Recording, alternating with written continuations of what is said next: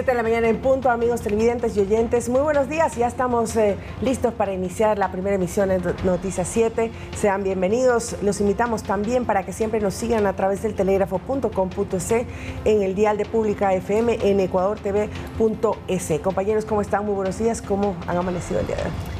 Muy buenos días compañeros. Recuerden también amigos que ahora en sus pantallas podrán ver un código QR. Los invitamos a escanearlo con su teléfono celular para acceder a información actualizada y verificada que tiene para ustedes el telégrafo digital.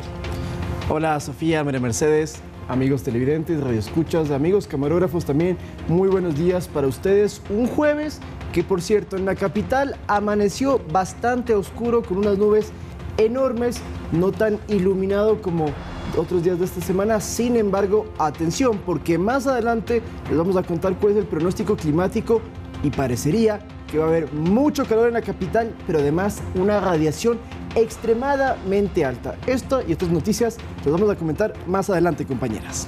Además hay que recordar el pico y placa, porque como tuvimos un día de asueto, a veces nos podemos confundir. No se olviden hoy los últimos dígitos de placa que terminan en 7 y 8 no pueden circular hasta las 9 horas con 30 minutos y en la tarde a partir de las 4 hasta las 8 de la noche. Bueno, el día de hoy también nos acompañará César Vázquez, secretario de la CENESID. Hablaremos sobre las becas Futuro Femenino, cuántas faltas de entregar de este, de este objetivo que tiene el Gobierno Nacional de 100 mil becas hasta finalizar el año y también sobre la aprobación para que vaya a primer debate de la Universidad de Santo Domingo de los Áchilas. Así que quédese con nosotros. Bienvenidos.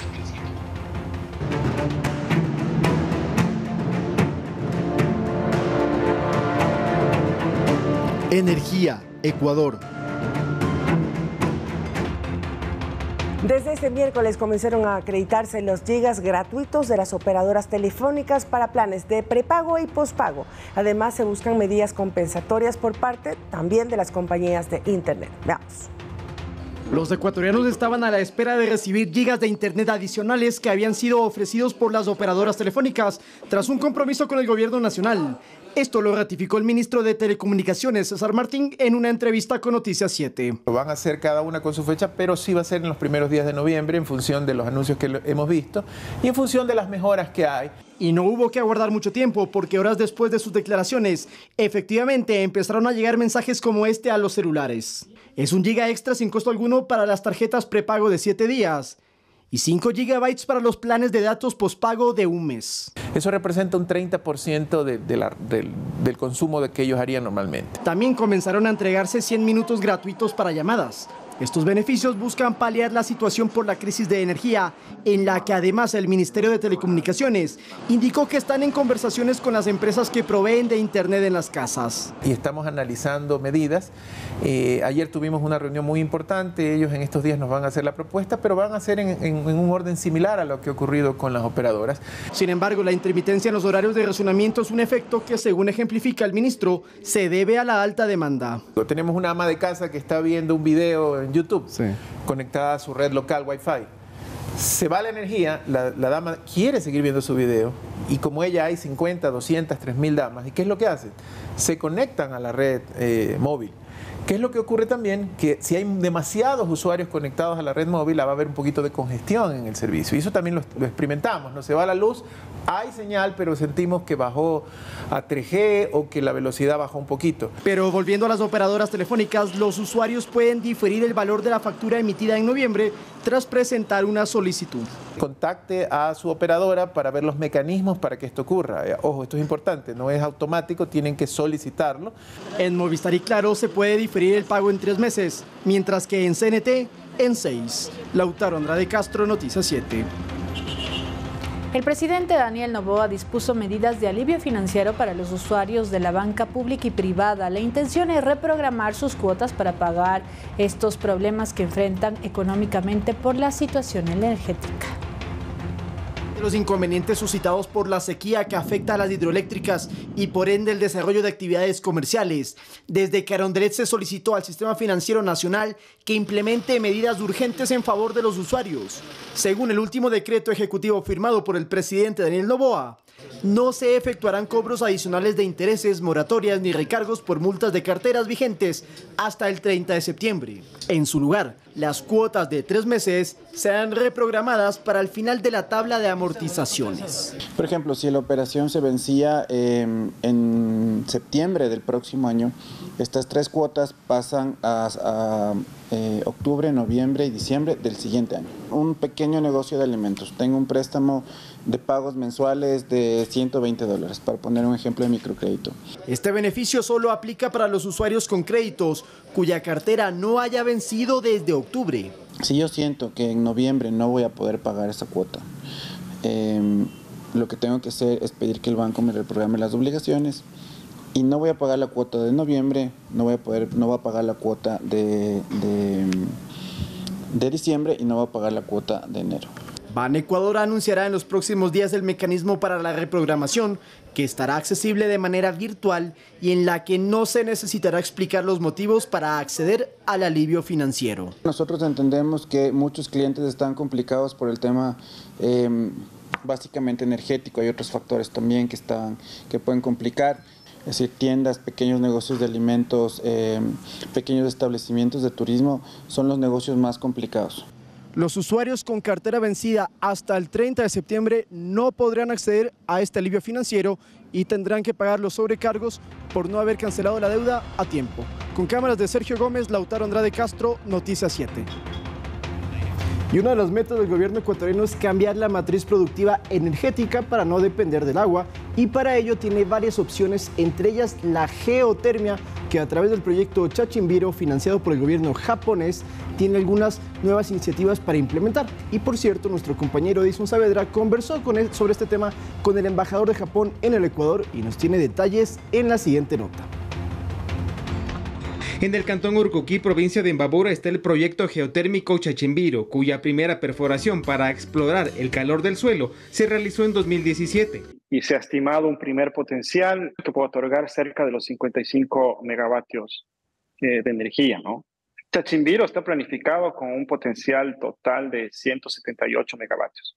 El proyecto estuvo paralizado por siete años. Sin embargo, en octubre pasado, Ecuador y Japón firmaron un convenio para un préstamo de 43 millones de dólares al 1.15% de interés a 20 años plazo, más un periodo de 10 años de gracia. Así lo explicó el embajador de Japón en Ecuador, Keiichiro Morishita. Este préstamo corresponde a la fase 1, que es el estudio de factibilidad eh, después de la investigación preparatoria. Si el proyecto avanza con éxito, se pasará a la fase 2, que consistirá en la construcción de la central.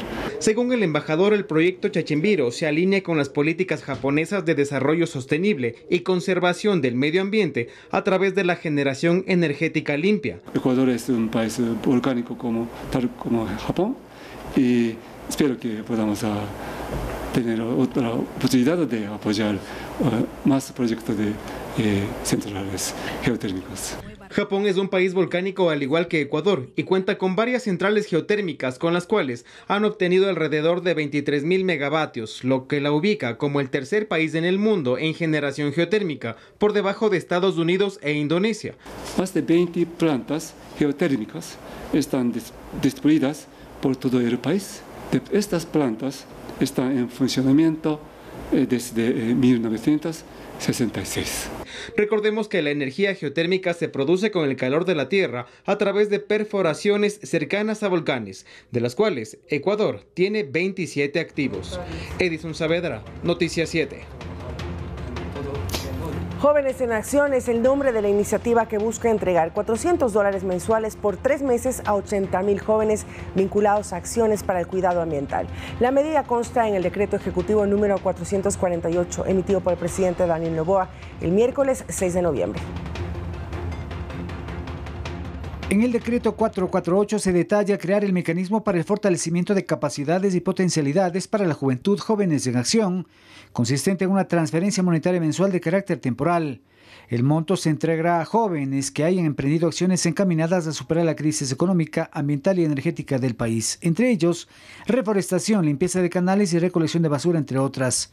Se entregarán más de 80 mil cupos para los jóvenes. Su objetivo, según el documento, es potenciar las capacidades y habilidades de la población joven del país. 80 mil jóvenes recibirán tecnificación y también podrán estar en una actividad en el cual se proteja el medio ambiente por 400 dólares al mes por tres meses. Esos son 100 millones de dólares en tres meses directo a una juventud que hoy la está pasando muy mal. Los requisitos para acceder a la iniciativa son no estar aportando al IES, tener entre 18 y 29 años 11 meses, no tener título de tercer nivel, no ser beneficiario de ninguna transferencia monetaria pagada por el MIES al momento de su registro, encontrarse registrado en jóvenes en acción de la CENESID o del Ministerio de Relaciones Exteriores y Movilidad Humana. En este último ítem se despliegan dos condiciones más haber realizado el registro nacional desde el segundo periodo académico 2023 y no registrar cupo aceptado en las instituciones de educación superior pública, ni ser adjudicatario de becas administradas por Cenecid. Además, ser ecuatoriano o ecuatoriana retornados voluntarios o forzados. Según el decreto ejecutivo, el monto de entrega será de 400 dólares por el lazo de tres meses. El depósito se hará en una cuenta bancaria. El MIE se encargará del desembolso de los valores previo a revisión de la información remitida por los Ministerios de Transporte y Obras Públicas y Agricultura de manera mensual. El MIES tendrá cinco días para realizar la transferencia monetaria tras recibir la información de los ministerios mencionados. El Ministerio de Transporte y Obras Públicas, el Ministerio de Ambiente y el Ministerio de Agricultura y Ganadería remitirán en un término de 48 horas el listado de acciones encaminadas al cuidado ambiental o para superar la crisis económica, ambiental y energética que enfrenta el país. Cenecid hará la convocatoria para la inscripción del mecanismo en el plazo de tres días. Rommel Garzón, Noticias 7.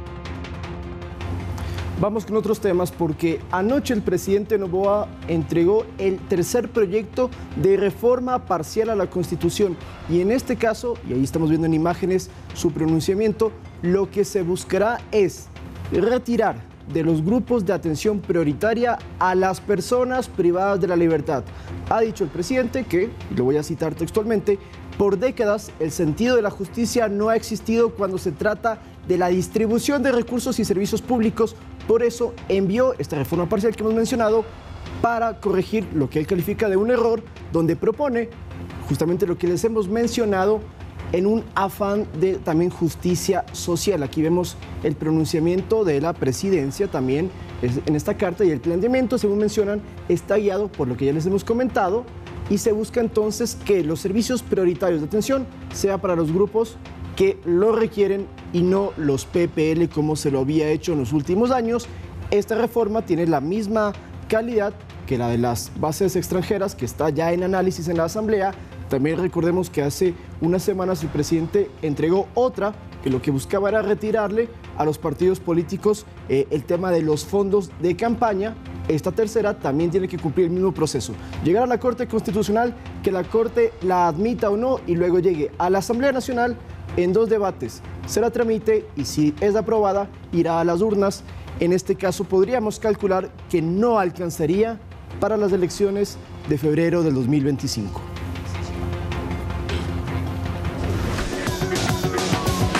Operativo antidelincuencial. Agentes de la UNASA liberaron a una mujer que fue secuestrada en la parroquia de San Vicente en la provincia de Manabí. Los presuntos delincuentes pedían por su liberación 80 mil dólares.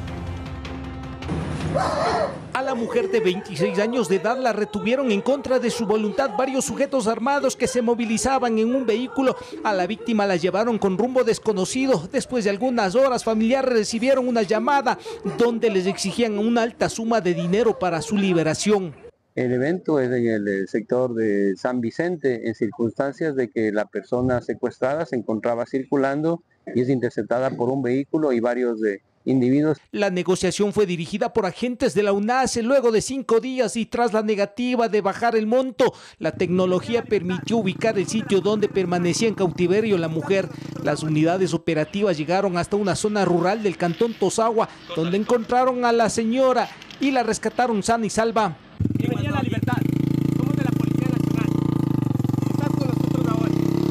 Que en el operativo policial fueron capturados cinco ecuatorianos, entre ellos una mujer y un menor de edad, quienes estaban en la vivienda y serían parte de una organización criminal dedicada al delito de secuestro extorsivo. Según manifiestan, estaban solicitando 80 mil dólares de recompensa para entregar justamente a la persona que se encontraba en cautiverio. Para tener buenos resultados, la policía exhortó a las personas a poner las denuncias respectivas para poder judicializar los delitos y enviar a los sospechosos tras las rejas. Iván Casamen, Noticias 7. La Policía Nacional lanzó la campaña de ciberprevención en centros comerciales. El objetivo es capacitar a los dueños, empleados y administradores de locales para estar prevenidos ante el accionar de los ciberdelincuentes. Se acerca el mes de mayor movimiento comercial y antes de lamentar prefieren estar preparados para evitar ser sorprendidos por los ciberdelincuentes, quienes utilizando las redes sociales, correo electrónico, redes inalámbricas tienen la habilidad para concretar fraudes en transferencias bancarias, pagos con tarjetas robadas y más. Tratar de hacer los pagos mediante canales seguros de, de, pagos, ¿sí? A veces nosotros utilizamos canales inseguros a través de códigos QR, a través de pagos en línea. La unidad de ciberdelitos de la policía empezó una capacitación a los trabajadores de uno de los centros comerciales más grandes de la capital el fraude cibernético se realiza a través del uso de una computadora o del Internet. Cuando nosotros navegamos a través del Internet, tenemos que observar qué URL estamos navegando. En la parte de arriba de los navegadores existe una URL donde nos dice HTTPS, que es un protocolo de seguridad. El fraude digital tiene diferentes formas. En el caso de los locales comerciales es común publicar promociones falsas que llaman la atención de potenciales clientes. Entre las medidas de ciberseguridad están educar al personal, mantener políticas de contraseñas, copias de seguridad regulares. De estas campañas de phishing, que es una modalidad delictiva en donde eh, los ciberdelincuentes buscan engañar y obtener información, eh, nosotros tenemos que observar si el link que nos está redirigiendo es el de la página oficial o no. La campaña empezó en la capital, pero está previsto cubrir con la capacitación a nivel nacional. Y la única forma de poder luchar contra esto es ir capacitando a las personas para que sepan cuáles son los factores de riesgo que pueden llevar a, un, a una estafa de este tipo. Iván Casamen, Noticias 7.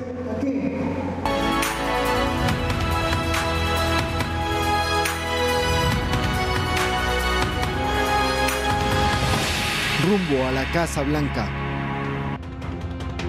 Donald Trump es el nuevo presidente de los Estados Unidos, todavía no oficializado por completo, pero es quien ganó las elecciones del martes. Y surge una pregunta, la relación Estados Unidos-El Ecuador, ¿qué se espera con esta elección de Donald Trump? Lo vamos a abordar en el siguiente reportaje.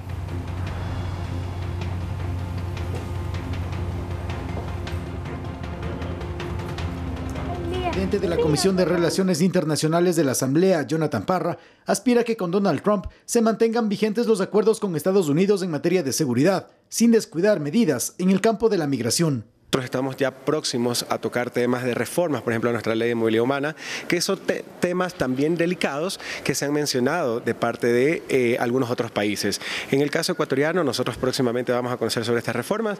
Leonardo Berresueta de la Revolución Ciudadana espera que el mandatario electo, una vez que inicie funciones a partir del 6 de enero del 2025, tenga a Latinoamérica en el radar de su gestión. Una felicitación al pueblo norteamericano por esta elección y desearle éxitos al presidente Trump.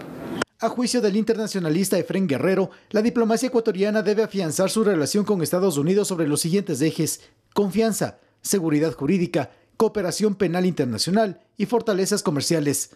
Le preocupa la imprevisibilidad de Trump como mandatario y su mirada a un posible manejo político a lo interno de su país. El caso ecuatoriano en particular, ¿cuál será? El primero es un país eh, dolarizado, lo cual implica siempre va a estar cerca de la, del control de ciertas agencias, especialmente la agencia de reserva, la Reserva Federal, las agencias de, de, de, investigación de delito, las de lavado financiero, tendrá en cuenta la dinámica ecuatoriana. El analista consultado considera que en mayo del 2025, quien sea el presidente de Ecuador no debe ver a Estados Unidos como el enemigo a ignorar. Es un país de 300 millones de habitantes la primera economía del mundo en, en este momento. Cerca está China, pero mm, sigue siendo la economía más preponderante. La economía más preponderante de nuestro hemisferio. Es nuestro principal socio comercial. Es un referente de poder suave desde la política, la música, la cultura. El 2025 será clave para la relación bilateral entre Ecuador y Estados Unidos, más aún cuando ambos países tengan gobernantes flamantes en funciones. Javier Ceballos, Noticias 7.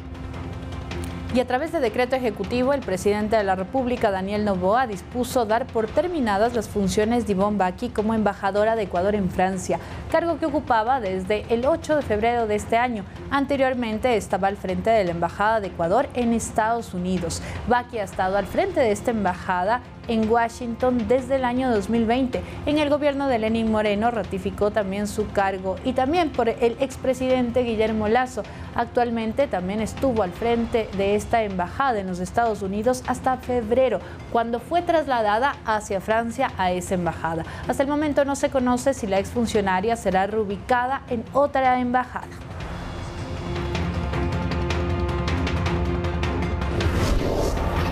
El Ministerio de Educación firmó un convenio de cooperación con el Aeropuerto Ecológico de Galápagos, ubicado en la isla Baltra, con lo cual los estudiantes y docentes ganadores de la Feria Nacional CREA podrán conocer la terminal aérea. Vamos. La Feria Nacional CREA es una iniciativa del Ministerio de Educación para generar un espacio para el encuentro e intercambio de los resultados de aprendizaje, investigaciones, experiencias e innovación para estudiantes y docentes de octavo, noveno y décimo de educación básica, además del bachillerato. Este año se realiza la décima edición. Aquellos alumnos junto a sus maestros que demuestren conocimientos óptimos en el sistema educativo nacional serán premiados con un viaje a Galápagos, donde conocerán varios proyectos y actividades sostenibles que se realizan en el archipiélago. El viaje incluye un reconocimiento al Aeropuerto Ecológico de Galápagos, gracias a un convenio firmado con el Ministerio de Educación para conocer un laboratorio de innovación y sostenibilidad, cuyas prácticas están alineadas con los objetivos del desarrollo sostenible. Los gastos del viaje del grupo que se ha seleccionado serán cubiertos por el Aeropuerto Ecológico de Galápagos. La Feria Nacional CREA se ha consolidado como una plataforma que resalta los aprendizajes, competencias y habilidades de los estudiantes de diversos planteles públicos y privados del país. Este 2024 se recibieron 221 postulaciones provenientes de diversas partes del Ecuador, escogiendo 22 proyectos finalistas. Los ganadores se conocerán en las próximas semanas. Sofía Vintimilla, Noticias 7. Y atención, porque después de ocho años, el Ministerio de Educación informó el inicio del concurso de méritos de oposición para cubrir vacantes de directores y rectores en instituciones educativas fiscales de todo el país. En total, se han habilitado 399 vacantes para que ejerzan estos cargos por un periodo de cinco años. La postulación finalizará el 7 de noviembre y entre los requisitos están, escúchese bien, tener título de tercer nivel, aprobar las evaluaciones realizadas por la entidad pública de evaluación educativa, tener 10 años de experiencia en docencia, esto en el sector público, eso sí, para ser rectores y 5 años de experiencia para también ser directores, entre otras, otros cargos que, que se podría aplicar en este concurso. Para postular, ¿qué hay que hacer? Ingrese sus documentos en la página web del Ministerio de Educación y cumpla el proceso que allí se detalla. Continuamos con buenas noticias porque con la presencia de la ministra de Educación, este miércoles iniciaron las labores del Consejo Plurinacional de Sistema de Educación Intercultural Bilingüe y la Educación. En esta primera sesión se reunió a los representantes electos de los pueblos y nacionalidades, además de los representantes del Ejecutivo. Este consejo tiene como objetivo proponer políticas públicas para el desarrollo de la educación intercultural bilingüe, así como dar seguimiento y evaluar dichas normas. También debe controlar que estas políticas se ejecuten de manera transparente. Con la participación de los pueblos y nacionalidades indígenas se asegura que sus conocimientos, saberes y su cosmovisión sean reconocidas y valoradas en el Sistema Nacional de Educación. Enhorabuena. Y también les contamos que el Ministerio de Inclusión Económica entregó 300 nuevas becas para capacitaciones sobre administración, finanzas y marketing a mujeres beneficiarias del Bono de Desarrollo Humano en el Cantón Durán, en la provincia del Guayas. Esta iniciativa busca que se fortalezcan y gestionen de mejor manera sus emprendimientos como un motor económico en un ambiente que se ha tornado hostil por la presencia del crimen organizado. Esta fue la segunda entrega de 300 becas, quienes cursarán los estudios en institutos de Guayaquil en diferentes modalidades.